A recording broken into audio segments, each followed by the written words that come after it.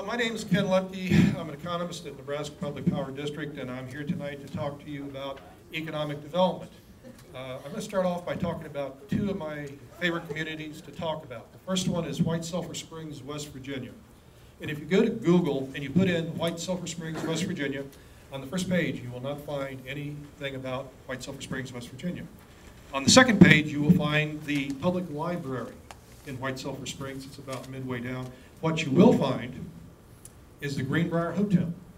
The Greenbrier Hotel is a 10,000 acre, 700 room luxury resort in West Virginia, and White Sulphur Springs abuts it. Uh, some of you may have seen a show on television uh, where they built a bunker for Congress to go in case of a nuclear war. This is it. And you can tour that bunker if you would like. I think it's 25 bucks or something. I don't know. I, I don't like it that much. Not 25 bucks. The, the one thing I'll say is that the, uh, the wallpaper there in the hallways, uh, the rooms look the same way. I have no idea why they would keep that wallpaper, but they do. Oh, the important thing, in the 1940s during World War II, this was Ashford General Hospital. Uh, the Army bought lots of hotels and converted them to hospitals, and uh, that's where Dad met Mom.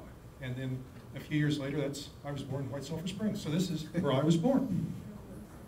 That's why I picked it. okay, the other town I want to talk to you about is Lewisburg, West Virginia. And if you go to Lewisburg, you will actually find Lewisburg is the first thing that pops up. And these are uh, part are pictures from their website. It's a very attractive town, and it's just really cool. And I can say that because in 2011, it was voted or designated the coolest small town in America by a national travel magazine. Now, why do I pick Lewisburg?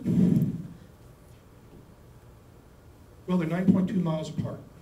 And when I would go visit my grandmother, and when I go to visit my 91, soon-to-be 91-year-old mother, I travel through Lewisburg to White Sulphur. I have observed these towns for over 60 years. I can remember what these towns looked like in the early 50s. And I've seen them evolve. And I'm going to tell you a little bit about that. Uh, today, if you go to TripAdvisor, you'll find there are 17 restaurants in White Sulphur Springs. Not a bad number. Uh, four are at the Greenbrier, and I don't think you can get into them unless you're a guest there, but they're there. Uh, if you go to Lewisburg, I got to get the graphics here. I worked hard on that animation. So you got to see the animation. I worked on this myself. They have a downtown business association. They have 39 restaurants. 27 of them are downtown, and there are some really, really nice restaurants. One of them is a hotel that was built in the 1790s. They have a great chef, and the prices are reasonable. Um, anything else? Oh, you can also get a pamphlet. There are over 70 businesses downtown in their flight. So this is an interesting place. Trying the button. Ah. Going to the employers. Well, White Sulphur obviously has the Greenbrier Hotel. I don't have a number. It's over a thousand people that they employ, probably around 1,200. The other major employers in the town, and these are all employing more than 50 people. There's a nursing care facility, construction company, and a quarry. If I go to Lewisburg, there are 738 employers. And I this comes off of a database called Hoovers. We use this. Uh, I think, if, you know, Holdrege has 680, by the way, in case you're wondering. The major employers, the Board of Education, the high school, the consolidated high school is in uh, Lewisburg. I'm not going to get used to this. There's a turkey and egg producer there. And that it's manufacturing, about 200 people. All these will employ at least 100 people. Greenbrier County, it's the county seat. They're both in Greenbrier County, by the way. An employment agency, probably most of these people are working at the Greenbrier or at that turkey processor.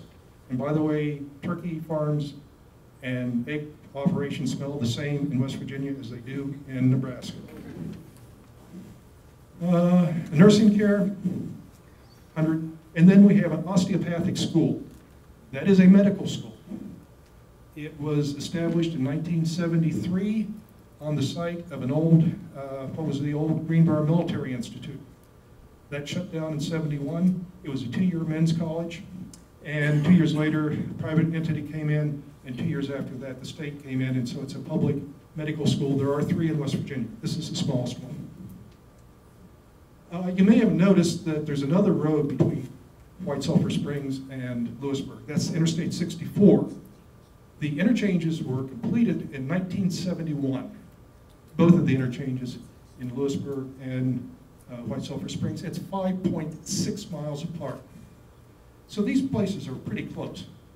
And they've seen pretty much the same opportunities over the last several years. Um, by the way, when they uh, got there in 71, you could go to Virginia Beach and the East Coast, coast, but you couldn't go west. And they did not finish that western portion until 1988 for a lot of reasons. One is primarily money. It's very expensive to build in that part of the world. Uh, if we look at, come on, the White Sulphur Springs interchange, and this is today off of Google Maps. If we look at that, uh, we have a McDonald's and a Wendy's. Okay.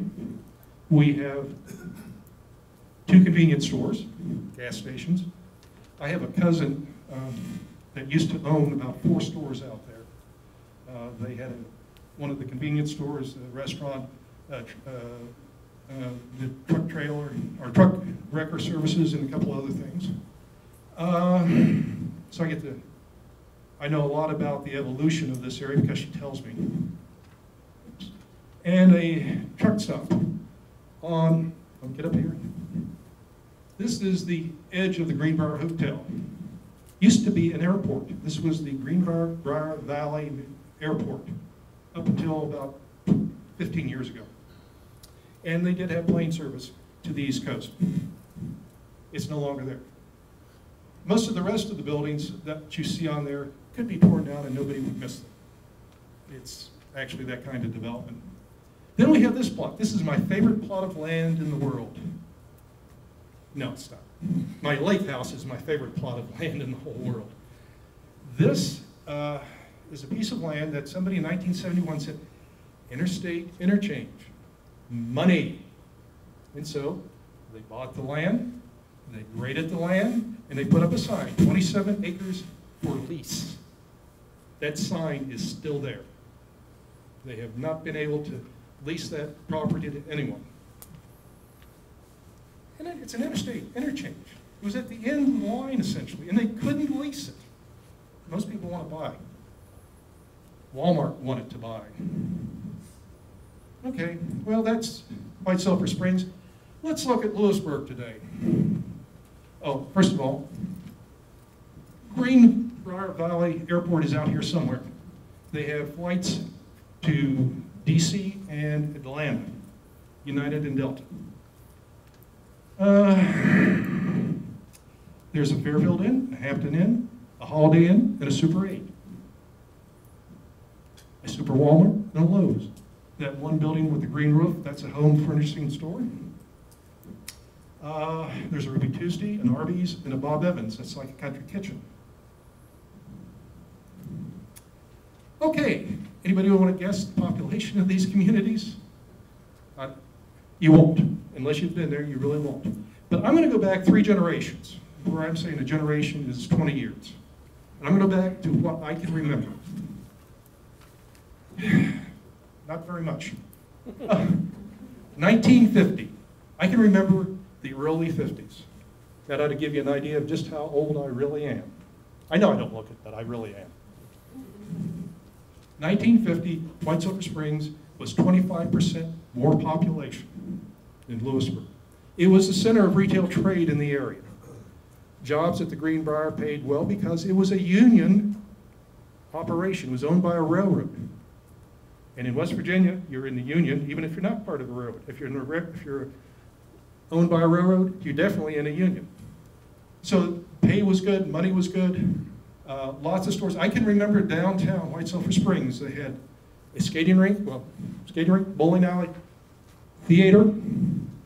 They had two dime stores, Kresge's, Grants. If you rem- any of you remember those, you'll know that those were pretty good stores. Had seven or eight grocery stores. It was a thriving area. Uh, downtown Lewisburg actually looked about the same today as it looked then. Lots of stores. Uh, most of them then were not the, the high-end stores they are today. They were grocery stores, they were five and dimes, et cetera.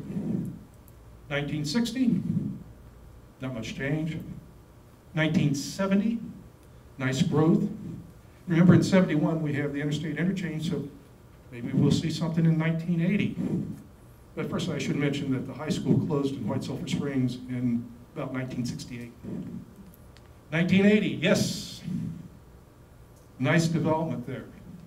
Remember, we have the osteopathic school established in 73. That was after two co- small colleges shut down, by the way. So is that a wash or not? I, I'd- I'll trade a medical school for two small, two-year colleges about any day. 1990. Boom. That's red. What happened? Well, something obviously went wrong in uh, White Sulphur Springs, and the, what would be the thing that would go wrong? It would be the Greenbrier. The Greenbrier got people from all the world, but they got a lot of them from Washington, they got a lot of them from New York, and they got there by train. Well, by 1990, 1980, 1990, people were flying. So technology passed them by, and the West Virginia legislature would not let them put in gambling. They tried and tried and tried. 2000 gets worse. 2006, no, sorry, 2007, the Greenbrier Hotel lost $166 million in operations. 2007, it filed for bankruptcy, had liabilities, I'm sorry, assets of $100 million and liabilities of a half billion dollars. And you can see the impact on the town. Did not go through bankruptcy. It got purchased by coal baron. We'll talk about that, maybe, if we have time. And it's pretty much stabilized now, but there is no retail to speak of in White Sulphur Springs. There are no medical services to speak of in White Sulphur Springs. There are no, no dentists, there are no doctors. Uh, There's just very, little. my mother drives past the only grocery store, which is a small food line, to go to Walmart in Lewisburg on her way to the hospital in Lewisburg. Now, where did these two communities start? And where did they end up? And how far apart are they?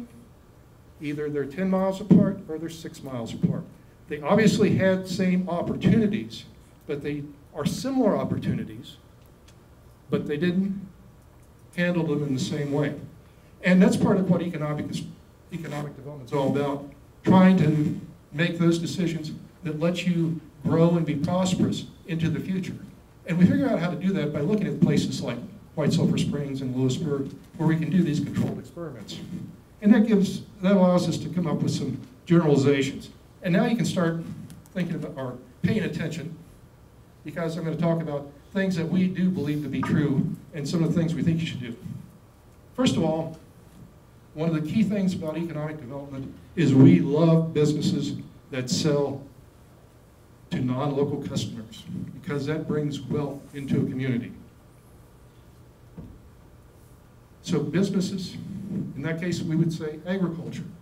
Agriculture is a great base because you sell those commodities all over the world.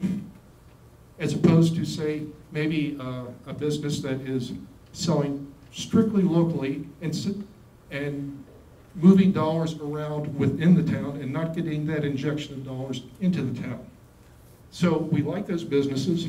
We like businesses that uh, support those, or, or supply those businesses. We love businesses that sell externally and buy a lot of goods that are produced internally. That tends to be manufacturing. We like manufacturing. There are other entities or businesses that are harder to do this. Small retail, small uh, personal services tend to be all local purchases. The other thing we believe is that retail and personal service industries follow the money. And think back to what the economy in Nebraska looked like, small rural communities looked like in about 2002, 2003. That's when I went to Alaska, by the way, to work uh, for a company. I just throw that in, in case anybody wants to talk about Alaska. I have some good stories there too. Uh, it was a whole different world.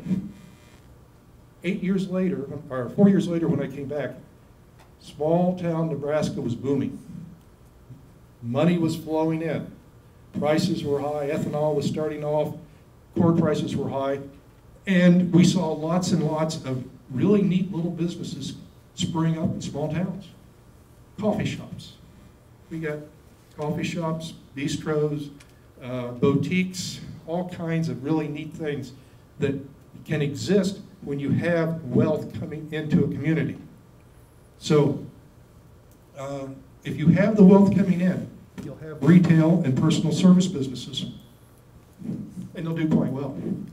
Uh, the other thing is, another thing is that the wealthier the community, the more likely you're going to have a higher quality of life in terms of the quality of life services that are offered. I just mentioned some of those. You'll have bike trails, you'll have community theater.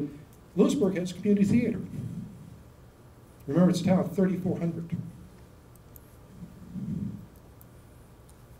Okay, some other things. Every industry and business goes through periods of boom and bust. Agriculture again. The Greenbrier Hotel had a nice long run, but at the end of the, that run, you knew sometime there was going to be a challenge. Which brings us to the fact that businesses have to constantly evolve and change or they're not going to survive and they will be replaced by something else. That's another challenge for an economic developer is when you have to replace a business. So we spend a lot of time trying to retain and help businesses grow. And that's part of the strat that's the first part of the strategy, retain and help businesses grow. And then we look at recruitment. Um, a dominant local employer brings both benefits and risks to a community. DeWitt. Everybody knows DeWitt and Vice-Grip. DeWitt had a great run, not as long as White Sulphur Springs, but it had a great run with Vice-Grip and then it got sold. And that's really, really hard to do something with that because you took a, you put a big hole in the town. Would the Greenbrier Hotel ever close? Yes. There are examples up and all up and down the East Coast of large resorts that did not make it. Will the Greenbrier close? Hmm. So I hope, I hope not. Uh, okay, so what do you do? It's pretty simple. We don't have a lot of things that we ask our economic developers to do. But it starts off with a local vision. You have to have a local vision. You've got to figure out what resources you need to develop. You've got to get local investment. And that, those are the keys to prosperity. It's local, local, local. Nobody does this for a community other than the community. Again, vision, resources, and local investment you've also got to be ready. I put, uh, oh, I mentioned Brownville there. Brownville is one of my favorite towns in uh, Nebraska. It's less than 200 people. It has a, uh, used to have, I don't know, Carl I could tell you, they have a, an opera house, they have a theater, they have a concert series. Uh, they put on shows in the summer, and then they have a riverboat. That's less than 150 people. They overachieved. They don't have a gas station, though. Uh, when our opportunity must, you've got to be ready. You've got to prepare for success. When I first came back to Nebraska, Omaha didn't, didn't really think data centers were a big thing because they take up a lot of land, they don't create a lot of jobs. So they didn't prepare for data centers. And hence Google is across the river in Council Bluffs. Now, there's nothing to wake up a community like having a huge half billion dollar investment go across the river. So Omaha got ready. They got the land together. They got the resources together. And they landed uh, Yahoo and several other smaller data centers. So you've got to be ready. And then locally grown entrepreneurs are critical. You've got people, every town has people that want to start businesses. And some of them actually have money. especially if they're old, old people. And my favorite saying, I have way too many favorite sayings. Have you noticed that? Okay. One of the things I like to say is that you have to figure out how to use the resources you've got. And one of the resources we have in non-metropolitan or rural Nebraska is old people. So we need to figure out how to use it. And given what the economy has been over the last several years, they've got money. And they, old people are every bit as entrepreneurial as young people, except they've got the money to actually do it. So uh, you, you, they can be very critical to the success of a program. Okay, now, you can wake up if you don't remember anything else. This is the slide I want you to concentrate on. When I was at Command and Staff College at Leavenworth, they would stop the floor, say, pay attention, this will be on the test, and this is the test. Key points, local vision, development of local resources, and local investment. You gotta figure out what, where you wanna go, you gotta find the resources, and you gotta get people to invest in the community. 840 lets you do that. Business selling to non-local customers increase, increase local incomes and wealth. We universally recommend that your targets sell outside of the community. And then you've got to be ready when a uh, when opportunity knocks. Okay, forget that. Uh, well, maybe not. I don't know. Can I take another 90 seconds? Okay, one of the things I'd like to mention is that um, I'd like to sort of wrap up the white sulfur story in the Greenbrier. Uh, it was kind of interesting when I first started this project because I'm part of an investment group that purchased uh, the old, um, uh, can't even. It's the Ramada Inn in Columbus now. It used to be an old um, Holiday Inn, and uh, it had deteriorated to a point where it was ready to, actually, the land was worth more than the building and the land together. The building was literally a, a throwaway. And we came in and we looked at rebuilding that. As I go through the challenges to the Greenbrier, I go, whoa, I sort of know what this guy's going through, except he's got a $500 million property and we've got a million dollar property, $5 million property. But uh, Jim Justice is the guy, he's a coal baron, that came in, bought the hotel, and said, I'm going to make it what it used to be. This is the local entrepreneurs. These are the people that have money that decide they're not going to let something die or that they're going to make sure the community is successful. So he came in, put money into the hotel, and he's done some really strange things. And I don't know if they're going to work or not, but one of the things he did eh, is he built a training facility, a professional football training facility, and in July, the New Orleans Saints held their spring training in White Sulphur Springs, West Virginia. And as part of the vision, he's building a medical institute at the hotel that will focus on sports medicine. Can this possibly work? I have no idea. But, you know, you got people out there with that kind of vision and lots of money, who knows what can happen. So I'm going to leave you with that, and then uh, we have questions, but I'm going to go back to these key points because I really want you to remember them. Pat?